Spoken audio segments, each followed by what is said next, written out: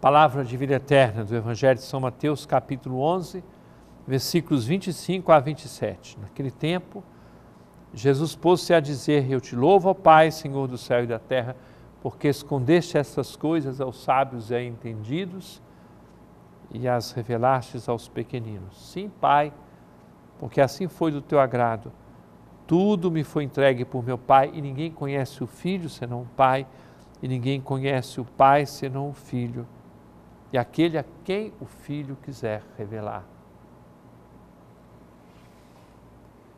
Conhecer as coisas de Deus não é destrinchar, como você vai desmontar qualquer coisa e ver as peças para lá e para cá, como se Deus fosse forçado a se manifestar.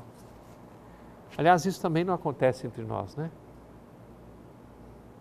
Quando você viola a liberdade, a consciência, a intimidade do outro, ele se sente desmontado, desvalorizado, arruinado.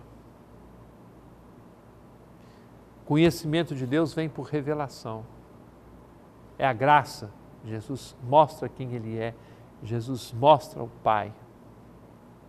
E para acolher essa revelação, vale para nós, vale para todos os tempos e pessoas para acolher tal revelação, é preciso ter a simplicidade do coração, ter a pequenez, quase ingenuidade dos mais simples e pobres que ficam como que dependurados na palavra de Jesus, na revelação do seu amor.